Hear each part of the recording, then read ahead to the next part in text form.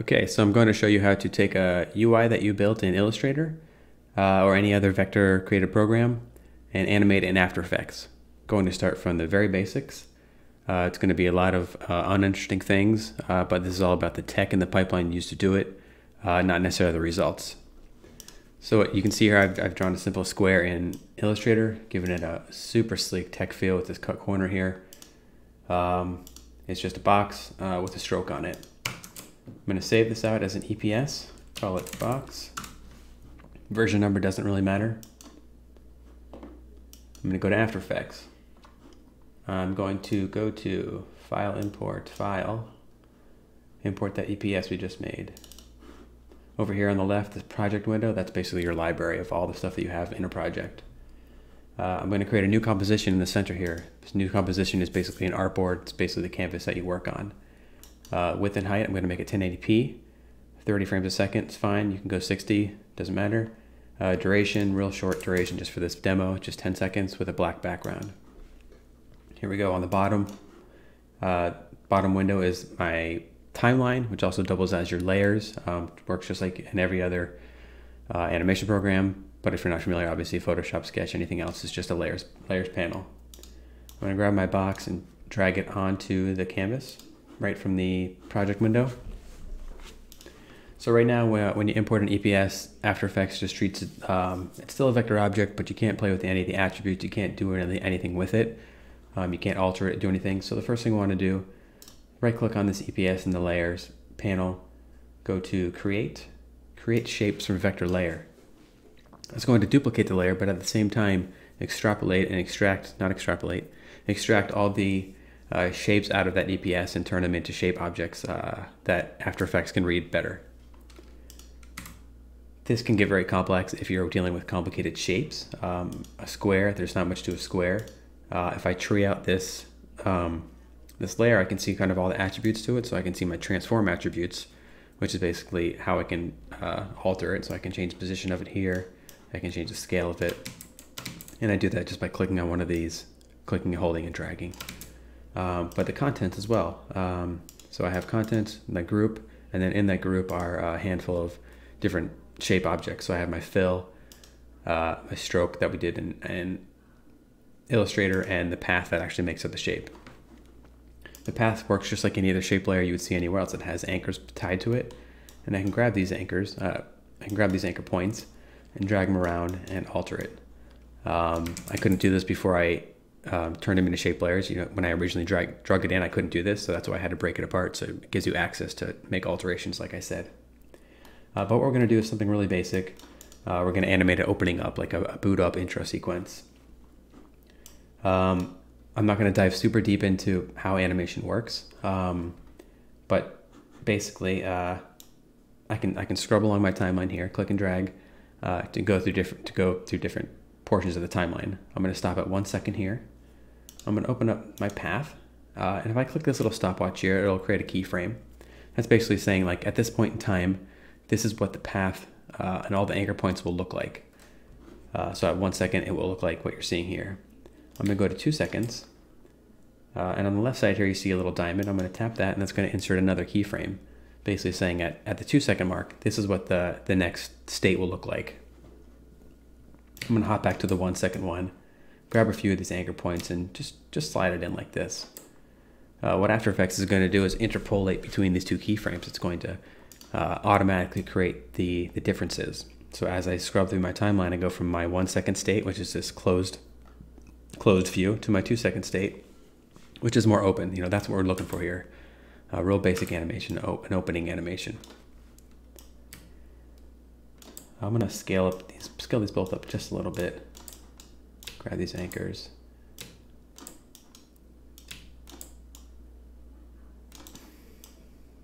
I think that's good. Maybe shrink it up a little bit so it matches. Wait, I went the wrong way. This way. Nope, whatever. Okay, so I have it uh, starting from uh, pretty close to opening. Um, what you'll see now is, is I have my, uh, this layer exists throughout the entire timeline. However, nothing really happens uh, up until the one second mark.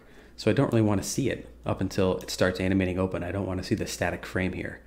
So I'm going to go to that one second mark and I can actually grab uh, the two ends of this layer uh, and adjust where it shows up on the timeline. If I drag it past the one second mark where our, current timeline is, uh, it, disappears because right now it's not visible in that area. Um, but I'm going to basically drag it up to that one second mark. So anything up until that point, it's not there, it's not there. Hit one second, great, now it's here, and now I can animate in. So if I play this, great. This is a terrible, terrible animation. This is a linear animation. Uh, it, it's uh, going at the same rate throughout the entirety of the animation. I'm going to highlight these. Uh, you can click and drag. I'm going to highlight these these anchor uh, Jesus, what are these called? Keyframes. I'm to click and drag and open up these keyframes. There's a little window here called the graph editor. I'm to tap that.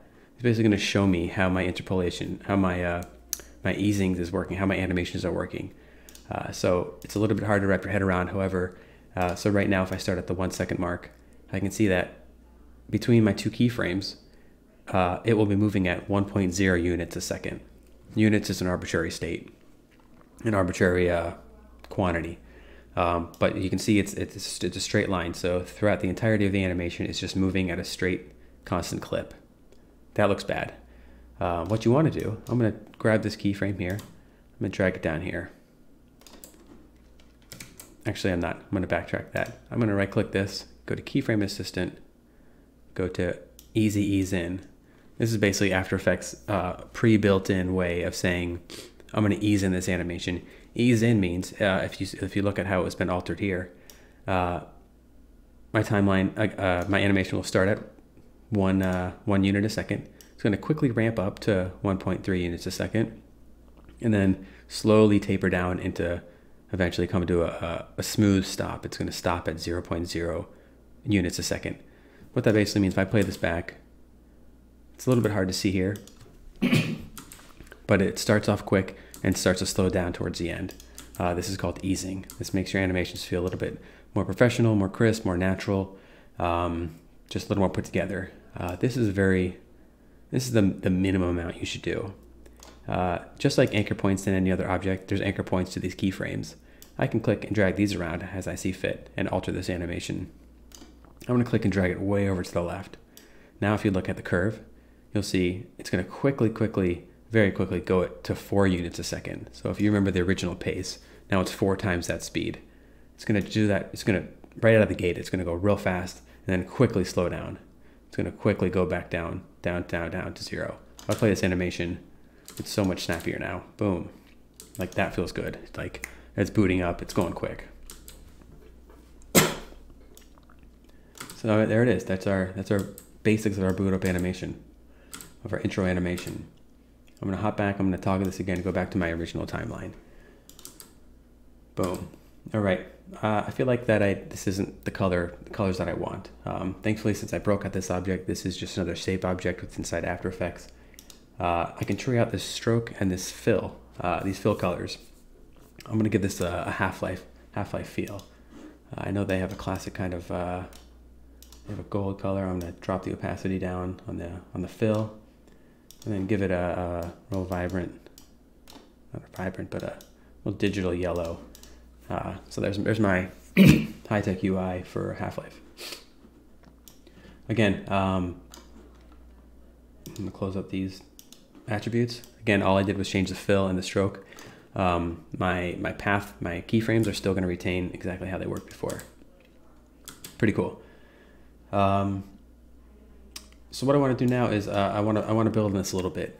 Um, right now I'm just I'm working on a single layer.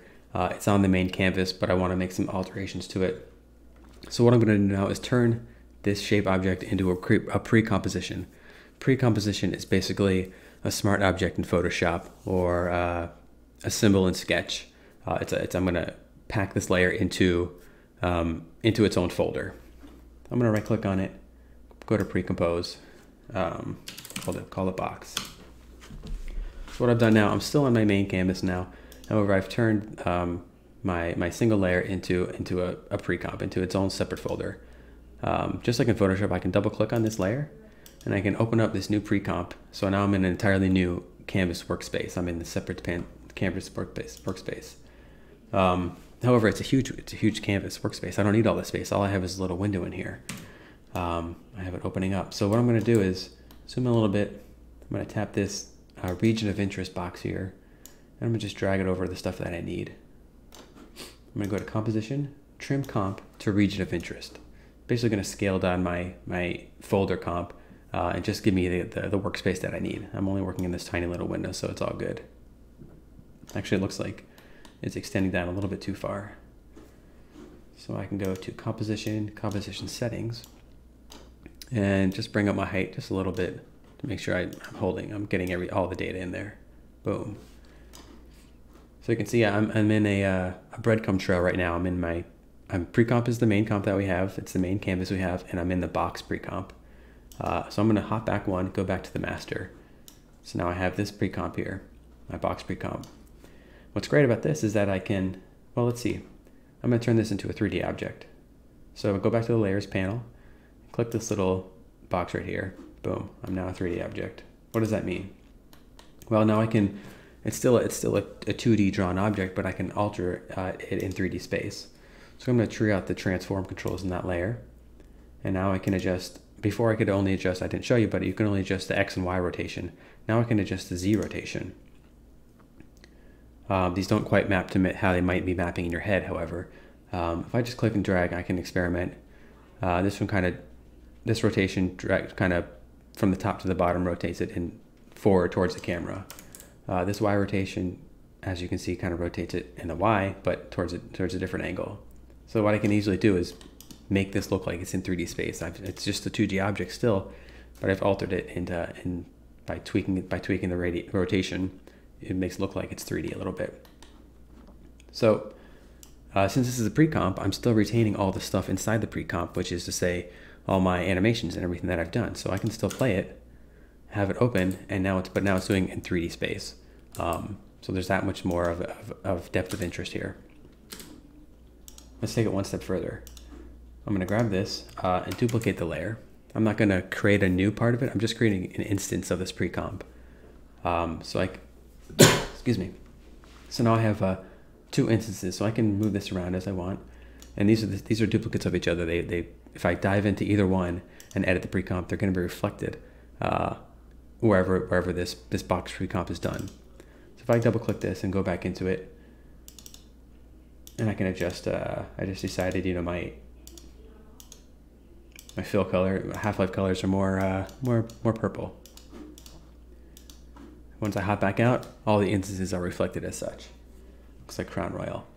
Uh, uh, the yellow matches Half-Life a little, little closer.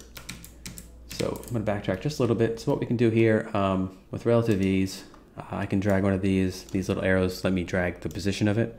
I'm gonna go back in in Z space. So I'm gonna actually go push it back away from the camera.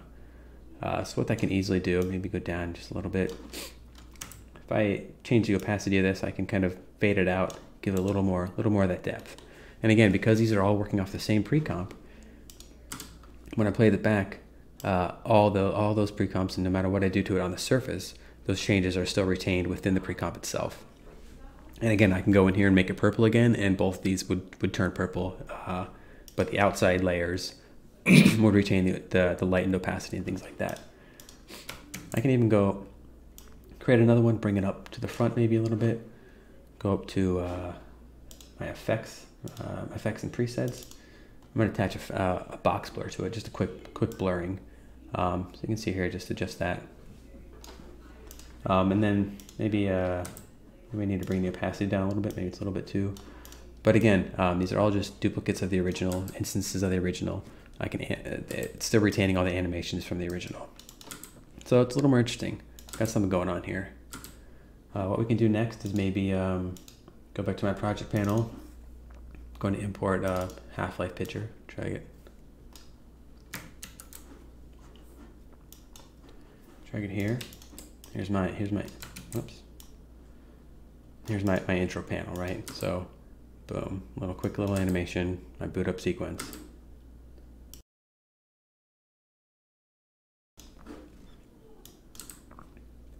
So it's a little boring. Um, let's let's let's build on a little bit more. Um, uh, well, I did build this again. I said I, I built this object in Illustrator. I didn't need to. It's a very basic shape that we could have just built in um, After Effects, but for the sake of argument, that's what we did. Uh, what I am going to do is um, let's go forward a little bit, get to the end of it. Uh, right click, new, shape layer. Let's create just a little health bar. Uh, right here sounds good. And again, when, when you drag in, when you create new shapes in After Effects, uh, right now it's called a rectangle shape layer. Um, I don't like After Effects controlling what I do with my shapes. I want to be able to control the anchor points. Uh, so what you want to do, uh, similar to how we broke out that EPS earlier, I'm gonna I'm gonna grab this new shape layer, tree out the attributes, go to rectangle shape path, uh, and convert to Bezier path. Basically, what that's going to do is break open the break open the container, the rectangle, and let me give me access to the to the, the points themselves, the paths. So what I can do if I uh, if I press U on my keyboard, U is a is a hotkey to just show all, all my keyframes in my uh, on a layer. So I have this keyframe here again from one second to to two, where it's just opening up. I'm gonna do something similar. Maybe here. I'm not gonna. maybe I'll start my health bar animation here. I'm gonna drag it out just a little bit so it doesn't show up. Uh, create a path here. Go forward a little bit. Create another keyframe here. So what I can do is grab this. All right, so now I've got my my window right my in, window animating in, and then my new shape, my new health bar animating in. Again, this is it's just linear animation, super boring. Uh, you can see here how it's how it's linear. I'm going to do the same thing. I'm going to go to keyframe assistant on that last frame and just really crank out, crank up that animation, really snap it in. Oh, that feels good. Oh man, let me tell you. All right. Um, so along with the, uh, shape attributes and the um, the, uh, the, the path attributes you can edit um, and keyframe animate. You can basically animate and keyframe any attribute that you that you have that you can edit within the within the program. So I'm going to edit the, the fill color here. So right now it's starting at white. Uh, I think uh, maybe a red color at the beginning. Uh, and as it animates in, um, when it gets to the end, I'm going to add another keyframe. And we're going to make it green. Basically telling the user, you know, when your health bar is small, it's going to be red. When it gets to green, uh, it's it's full, right? A little bit of reinforcement there, boom. Um, you don't need to ease in uh, these kind of adjustments, opacity adjustments, color adjustments. Um, noticing the easing to a user is a little bit more difficult, um, so it doesn't make a big difference, but for the sake of uh, continuity, let's uh, crank up the easing of this one too. Boom. I'm gonna hop back real quick. Again, it's instant reflected on the main canvas, all those duplicates there's a nice glow on there um, from the from the, the Z depth layer that we built that we blurred out. It's all like immediately reflected. It's, it feels so good to to work uh, in 2D. If I jump back in here and then have your stuff set up in 3D and it just like it just works. It feels really good as a UI designer. Like seeing your stuff animated, you don't have to explain it to somebody. That's just uh, it, it turns you into a concept, concept artist really. Save this project. Save this project. All right, we're almost there. Let's let's do one more thing. Let's see. Let's add a uh, new text layer. Let's call it health. Oh, there's a Half-Life font for you right there. Let's see. Oh, that's real Half-Lifey. Come on, don't embarrass me now. Give me something good.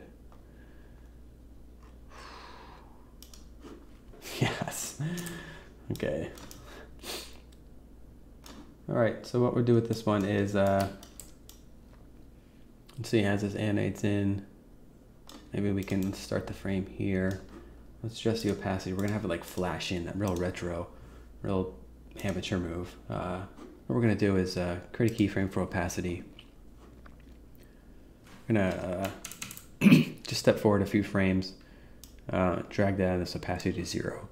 Uh, you'll see that, that I'm not making explicit keyframes, but once you make a single keyframe on a uh, on an attribute, any any adjustments you make to that attribute will automatically add keyframes into it. Right? So I'm not actually saying like add keyframe here. All I'm doing is is adjusting the attribute.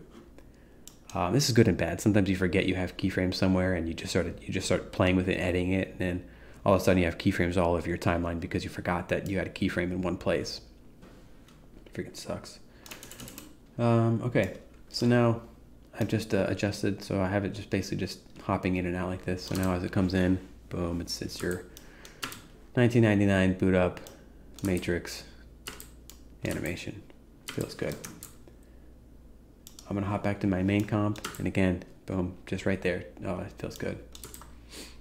Uh, so that's just of it. I mean, that's that's the basics of of bringing in an object from an external uh, vector program, and um, just creating real basic animations. You know, again, this isn't pretty, but understand the flow of how things work. Um, I think it, it's it's gonna. If you don't already know it, it, it it honestly changes your entire career, changes the entire game of like what you're able to do.